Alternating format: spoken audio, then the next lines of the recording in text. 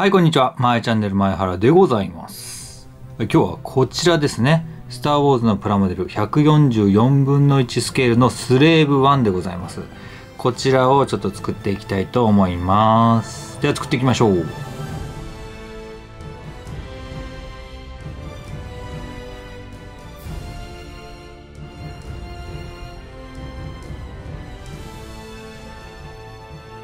はい、ということで完成しました。こちらが144分の1スケールのスレーブ1のプラモデルですね。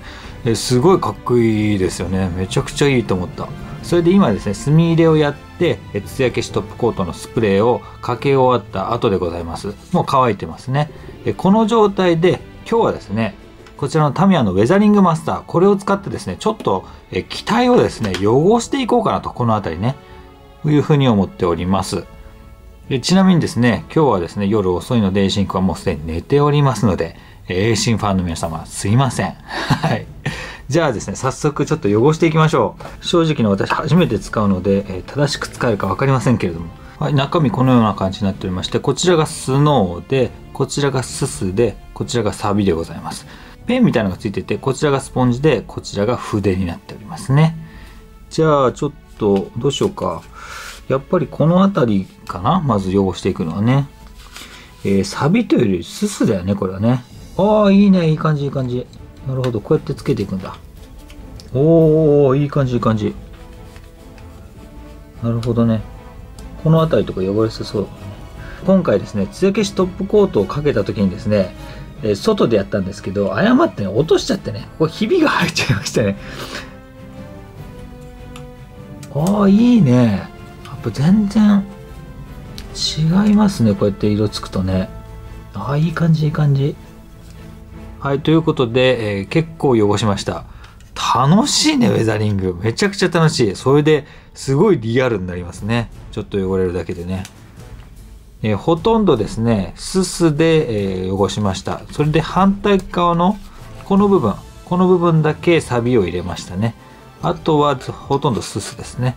本来ねスレーブ1って言ったら塗装が剥げたデザイン。あのこういうやつ。こんな感じ。こういう塗装が剥げたデザインがいいんじゃないかなと思うんですけどもうこれはこれでいいですね。かっこいいじゃない。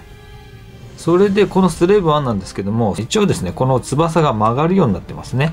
そしてこのコックピット部分なんですがここにボバフェット乗ってますけどもこちらが離着陸モードでこちらが飛んでる時の状態にすることもできますね。この辺一応細かいですね。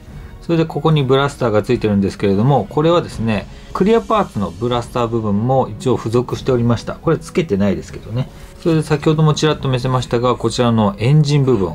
これはかなりよくできてると思いますね。細かく作られてますよね。一つずつパーツをはめていった形になります。バンダイのプラモデルは接着剤を使わなくていいのですごくね組み立てが楽ですね。で付属していたのはこちらのですねクラウドシティのベスピンの、えー舞台ですね。でここにちっちゃなボバフェットがいてこれがカーボンフリーズされたハンソロです。はい。このパーツをここにセットしてでスレーブ1をここに設置することができるわけですね。はいということで飛行状態の台に設置してみました。これかなりいいですね。めちゃくちゃかっこいいじゃん。プラモデル感がなくなったね。いや、ウェザリングするだけで随分違いますね。今回はですね、本当にウェザリング初めてやってみたんですけども、これいいですね。あの、蒸気機関車の N ゲージとかのあのウェザリングにも使えると思うので、これはですね、ぜひ今後も使っていきたいと思います。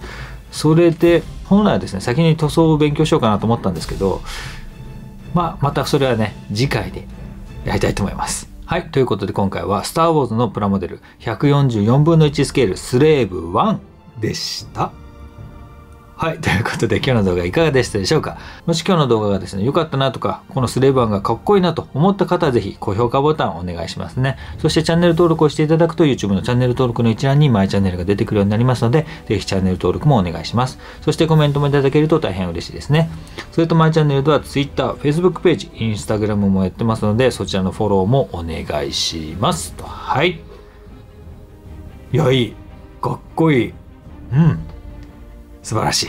はい。ということで今回は以上でございます。バイバーイ。